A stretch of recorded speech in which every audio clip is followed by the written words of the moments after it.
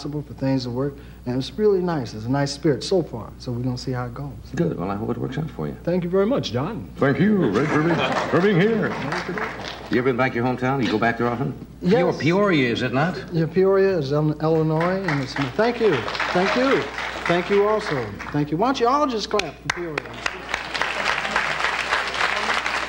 Now, all of those people obviously are not from Peoria. Oh yes, they are. I hired them to uh-huh. come in. And, Peoria and Burbank are merging. Yeah.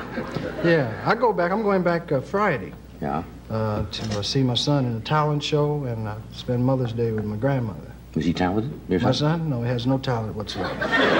but you have to go watch him and encourage him. He's a wonderful son. What is he? What is he doing in the show? Uh, he yodels and a hooker. throws. Huh? what was it you said? I didn't say nothing, man. Nothing. I just say nothing. yeah.